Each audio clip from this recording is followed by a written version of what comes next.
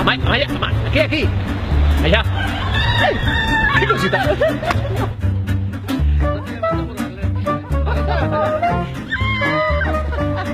Ba, nik uste eh, umoriak beti laguntzen digu gure gandik ateratzen, ez? Eta oso polita izango litzake zure bikotearekin arajutia eta esatia, a, a, eta orain antzerki bat ikusiko dugu. Taberna bat bati, batian zaudela, baina alde berean e, antzoki baten batian, ez? Nik uste dut istorioak oso politak eta oso parregarriak direla.